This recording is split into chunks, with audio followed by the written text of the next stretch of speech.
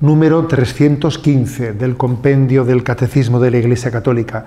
¿Cómo se comporta la Iglesia con los enfermos? Y responde, la Iglesia, habiendo recibido del Señor el mandato de curar a los enfermos, se empeña en el cuidado de los que sufren, acompañándolos con oraciones de intercesión.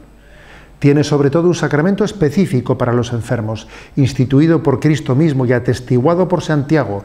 ¿Está enfermo alguno de vosotros?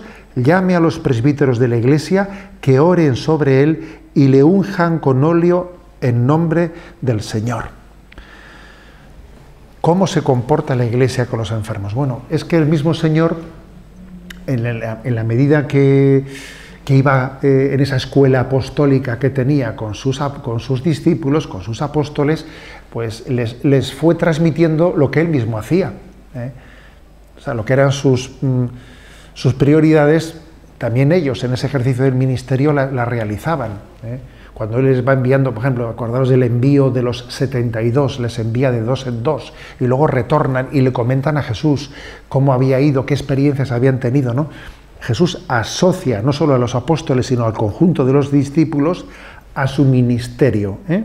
con sus mismas preferencias. Por ejemplo, Marcos 6, 12, 12, 13, fijaros cómo dice, ellos salieron a predicar la conversión, echaban muchos demonios, ungían con aceite a muchos enfermos y los curaban. Curioso, ¿eh?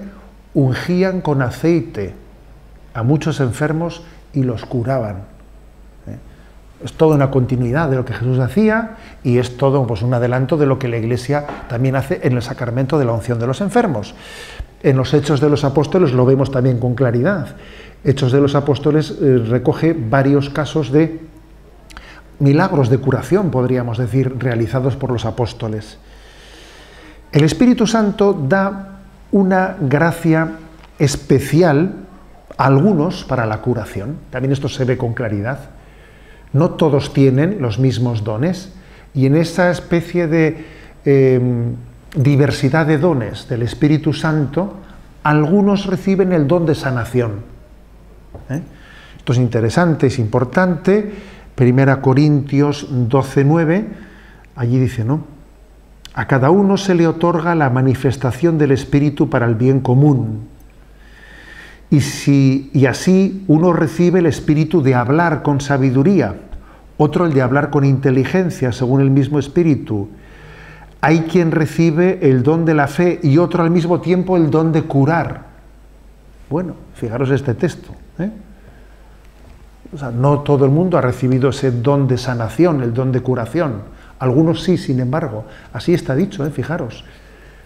Lo cual no quiere decir que porque algunos hayan recibido ese don de curación, pues tenga que ser siempre así, o sea, todo, todo pueda ser curado. Pues no, hay muchas cosas que no pueden ser, que Dios no da la gracia para que sean curadas, ¿no? Porque tiene otros planes Dios.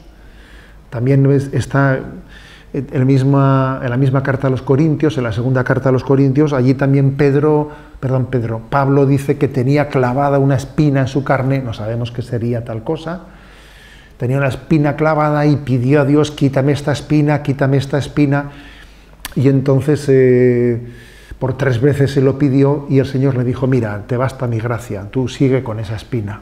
Y no le concedió esa, quizás fuese una, enfermedad, no, lo sabemos, ¿qué? que podía ser esa espina clavada en su carne, pero no le concedió ese don de la sanación. Tenía otros planes Dios. O sea que a algunos les da el carisma de poder curar, no a todos, y no siempre de curar a todos, no, porque Dios tiene planes diferentes para unos y para otros, porque lo importante es como decíamos en, alguno de los números anteriores, que la sanación es un signo de una curación del alma eh, definitiva para la vida eterna. Incluso a, veces Dios permite que permanezca en nosotros la enfermedad para poder decir con San Pablo, completo en mi carne lo que falta la pasión de Cristo, participando de la pasión de Cristo. ¿eh? Hay muchos enfermos, ¿no? que han visto en su enfermedad como una llamada a participar de la, pasión de Cristo. Entonces, bueno, pues Esto se ha traducido en el quehacer de la Iglesia, porque estamos hablando del número 315, que dice cómo se comporta la Iglesia con los enfermos, esto se ha traducido en un sacramento.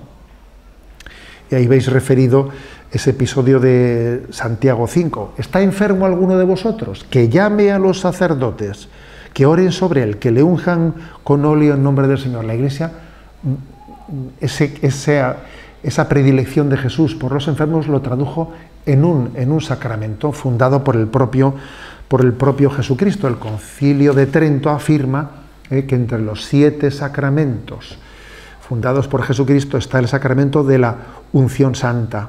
Eh. Dice, dice así el concilio de Trento.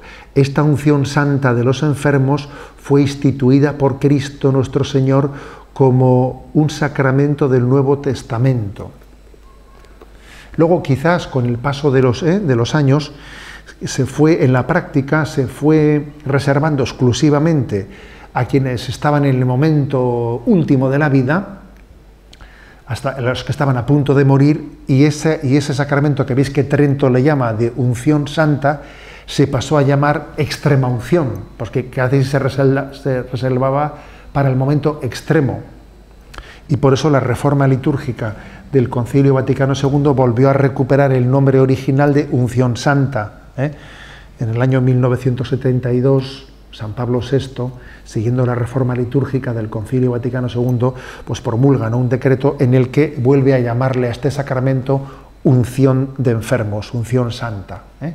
porque quiere, como explicaremos en los próximos números, reservarse no exclusivamente para el momento último y final, cuando alguien ya está falleciendo, sino ser celebrado de una manera más genérica para los enfermos que están en situación grave. Este es el don, la Iglesia eh, dispensa este sacramento en continuidad con lo que hizo Jesucristo con los enfermos y en continuidad con los dones que el Espíritu Santo dio en la iglesia primitiva a los apóstoles y a los discípulos para eh, el misterio de la consolación y de la sanación con los enfermos.